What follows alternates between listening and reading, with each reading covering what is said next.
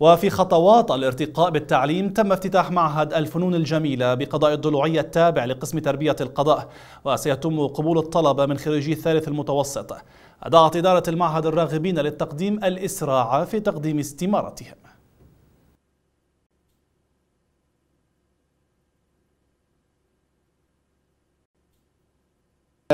سنوات الدراسة بالمعهد هي خمس سنوات. والأقسام الموجودة بالمعهد حاليا هي قسمين قسم الخط العربي وقسم الفنون التشكيلية. جنس المعهد معهد بنين فقط هاي السنة أما بالسنة القادمة إن شاء الله راح نفتح قسم الفنون المسرحية وراح يقبل الذكور والأناث لأنه قسم الفنون المسرحية يقبل اختلاط دونا عن باقي الأقسام. آه، طبعا آه، خطوة جبارة. أول ما نبدأ نقول آه، كقسم تربية الضلوعية داعمون بهذا بهذه الخطوة الجبارة التي نشكر أيضا ندعمها ونشكر من سعى بها منذ الهرم وحتى آخر حلقة فيها. طبعا كما ذكرنا أنها خطوة في مسارها الصح. لأنها نواة نواة لبناء جيل واعي وكانت هناك طبعا من خلال مسيرتنا التربويه وجدنا أو لمسنا هناك من لديهم هذه الطاقات المدثرة. فما علينا إلا إحيائها بهذه ال بهذه ال بهذا المكان أو هذا الهرم الصرح الذي يعتبر أيضا سند للمنطقة جمعاء. فنقف جنبا إلى جنب مع الأستاذ عباس والكوادر التربويه للوصول إلى قمة الهرم. معهد آه، فرصة آه، عظيمة جدا.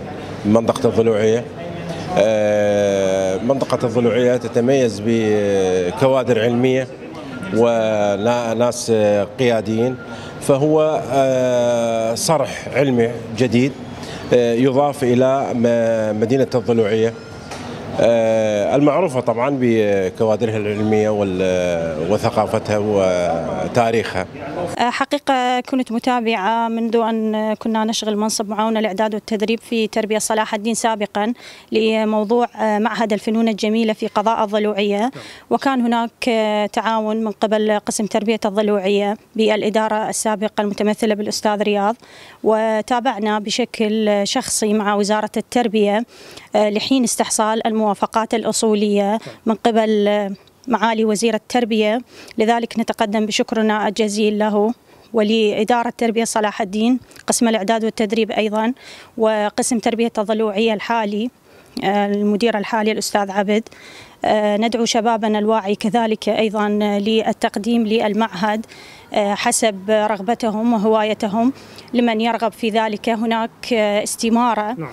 آه، آه، حاليا موجودة على مواقع التواصل الاجتماعي. آه، طبعا معهد فنون جميلة في الضلوعية بادرة خير هذا أن دل على شيء يدل على أنه المنطقة بدأت تنهض ثقافيا وحضاريا بدأت تحتك بالعالم الخارجي. هناك بصمة للفن أصبحت الذي كان الذي كان حكر على على مناطق دون مناطق أخرى. أصبحت الآن الضلوعية من الأقضية الأولى في صلاح الدين التي تهتم بالفن وشؤون الفن وهذا شيء جميل. جميل وبالمناسبة قبل أقل من عشرة أيام تم عرض مسرحية في اتحاد شباب بلد تأليفي وإخراجي وهذا ضمن هذا سيغ. نتمنى لهذا المعهد والقائمين عليه التوفيق والنجاح